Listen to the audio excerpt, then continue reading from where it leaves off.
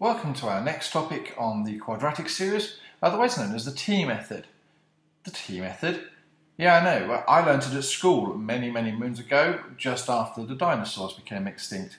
And I thought it was standard practice, and yet I've very rarely seen other members of staff use this method to help them factorize quadratics.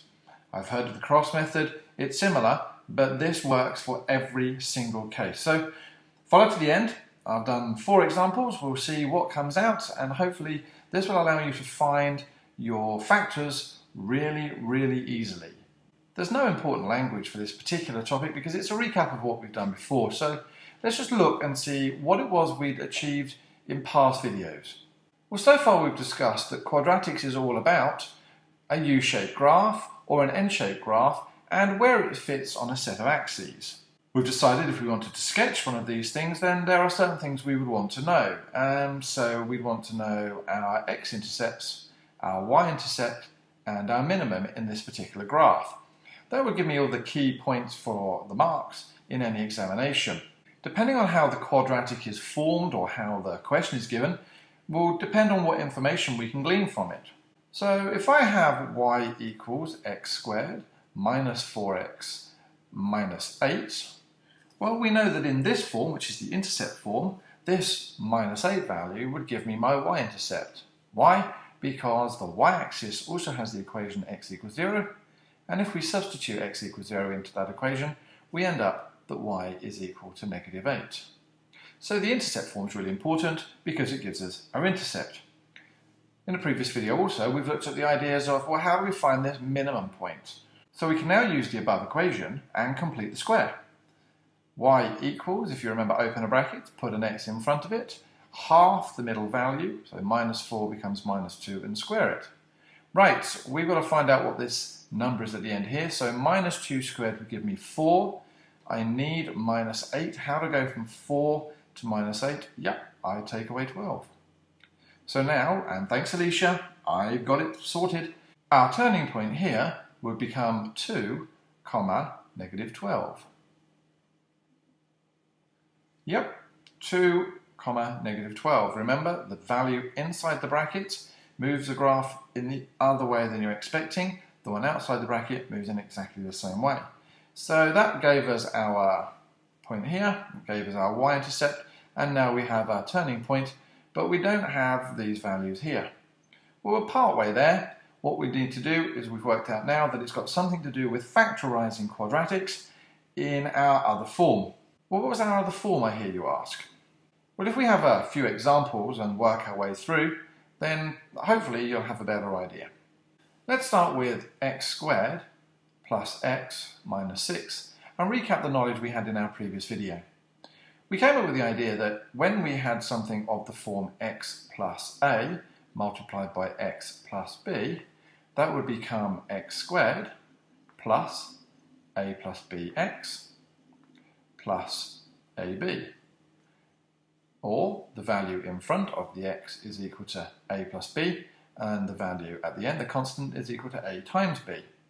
Right, so if we apply that to our knowledge here, what do we find? Well, the number in front of the x is 1, so we know that a plus b is equal to 1, and we know the number at the end is negative 6, so we know that a, b is equal to negative 6. Right, okay, so this is where we drew that t, and it's no coincidence that this is called the T method. Look where this is going. What number goes on the top here? Well, at the moment it's minus 6. I'll be more specific with that a little bit later on because when you have this 2x squared and this 3x squared, the rule becomes slightly different, but it actually still works. So there's minus 6. I'm going to write minus 6 on here. Please don't think to yourself, oh, okay, it's just this number on the end. At the moment, coincidentally, it is, but it's not quite the whole story. Having found my minus 6, what I need to do is find the factors, because I know that when they multiply these two numbers, they get minus 6, and when they add, they give me 1. So I have minus 1 and 6, minus 2 and 3, minus 3 and 2, and minus 6 and 1.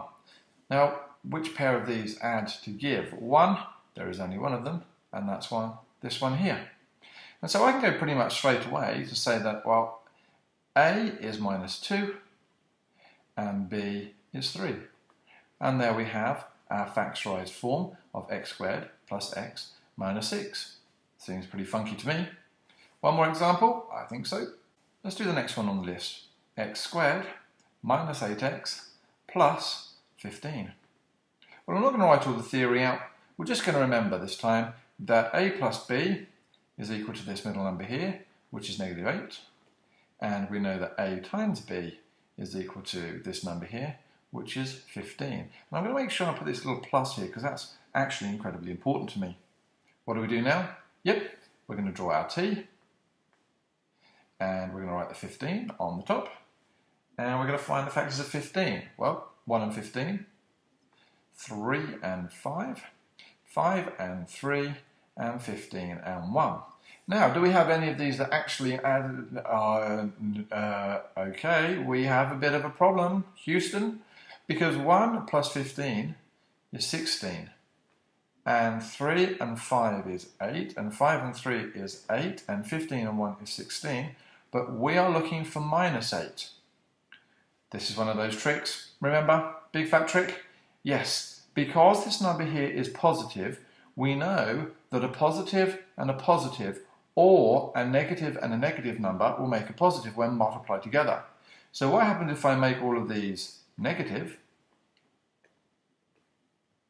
Well, hopefully you'll see the right answer because we get now minus 16, minus 8, minus 8 and 16 which suggests to us that well, I can use either of these values here, and let's use those two. So I can now write that down to be x minus 3 and x minus 5. And there we go, we've now factorised our quadratic, x minus 3, x minus 5. And if you want to check in your own time, if you multiply these two out, you will in fact get x squared minus 8x plus 15. Right, well that seems to work. Mm, not actually in all cases. So what we're going to do is I'm actually going to be a little bit more specific. I'm not going to tell you we're going to ignore that A plus B, business. And I'm going to come up with a slightly more general form. We know a quadratic is generally given by ax squared plus bx plus c. And so if we now use a real world example, y equals 2x squared plus 10x plus 8, we can see our value of A is 2, B is plus 10, and C is plus 8. Now we're going to use this T method idea, but what I'm going to say to you, and it does work in all the previous examples, which I might go back to a bit later on, is what you actually do to get the number on top of here is you take the first number, the A, and the C, and you multiply those together. This will work in every single case where it can be solved using the T method. Watch how it works. So we have 2 times plus 8, which is plus 16. Find the factors of 16 is 1 and 16, 2 and 8, 4 and 4, 8 and 2, 16 and 1. And what we're trying to do is find two numbers that when added together give me 10, and yep, there we go, 2 and 8. Now normally you go, oh awesome, well that now gives me x plus 2 and x plus 8. That's going to give me the right answer. Actually, no it isn't. All right, I know this is really bad. Let's just see what happens when I multiply this out. Well, x times x is x squared. X times plus 8 is plus 8x. Plus 2 times x is plus 2x. And plus 2 times plus 8 is plus 16, which when I add those together, I get x squared plus 10x plus 16 which is absolutely nothing like, well, barring this middle number, in fact, what we were looking for. So we can't use this now. We can't use that idea because it doesn't actually work. So we're just going to put a big frowny face there because that doesn't quite work. Wouldn't it be lovely if it did? Hold on, you do actually know what to do now. Let's go back to a previous video where we were talking about the idea of factorizing by pairs. We really like factorizing terms where there are two terms or four terms or six terms. Anything with an even number of terms is really, really good. What do we notice here though? We have an odd number of terms. How can I turn an odd number of terms into an even number of terms? Well, we use this T method. We now know that plus 10x can be split up into plus 2x and plus 8x. I can move the 2x squared down and this plus 8 And what I now find out is actually what I can do is rewrite our sum. I can turn three terms into four. It hasn't actually changed, nothing's changed, this is still exactly the same equation or expression, but it's just got an extra term. Well, what do I do now? Well, we've got four terms. We like four terms because we can now factorize pairs. Well, let's see what happens. Well, I've got 2x squared plus 2x. It looks like I can take a 2x outside of a set of brackets, and what do I get? I get x plus 1. I've got plus 8x and plus 8, which means I can take positive 8 outside of a set of brackets, and what do we get? x plus 1. Hey, up chuckles, what do I notice? I notice I've got an x plus 1 in brackets here, and an x plus 1 in brackets here, which means if I've got two terms, and we have two terms, I can now write outside what is common to both terms, and inside a set of brackets, write what's effectively left. Well, if the x plus 1 here is moved outside. That leaves me a 2x inside. And if my x plus 1 is outside, I've got my plus 8. And lo and behold, there we go. I've now got my factorized equation. Should we just check that this works? Well, yeah, because x times 2x is 2x squared. x times plus 8 is plus 8x. Plus 1 times 2x is plus 2x. And plus 1 times plus 8 is 8. And if we simplify it, lo and behold, we get 2x squared plus 10x plus 8. Whoa! Which is my question. And it would appear now my pen is going to start playing up again. Well, let's try this again with the last example. We have 3x squared plus 18x minus 21. What do we do? Well, we draw our t, and we take our first number, if you remember, 3, and our last number minus 21 and we multiply them together, which is minus 63. Now don't panic, big numbers aren't necessarily bad. You know, we can sit there and we do, right, okay, well our factors are minus 1 and 63 and minus 3 and, ooh, what's that going to be, 21? Oh, hold on, I don't actually need to go much further. I could, I could do them all, but sometimes it's useful just to keep an eye out on what's happening when you do this.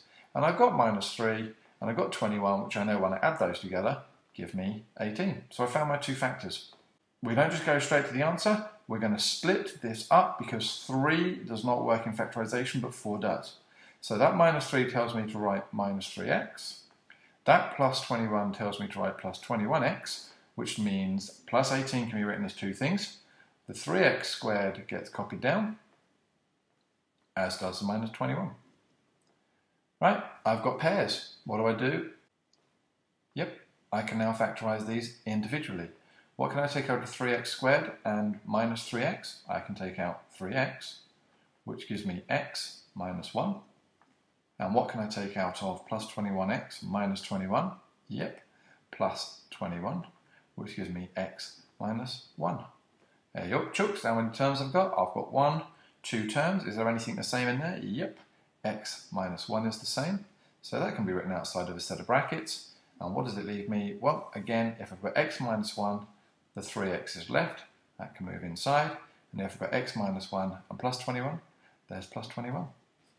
So this t method seems to work beautifully. So we just check again with that first example, make sure it actually works. Yep. Nice and quickly, x squared plus x minus 6 what do we do? You multiply the first number, the number in front of the x squared.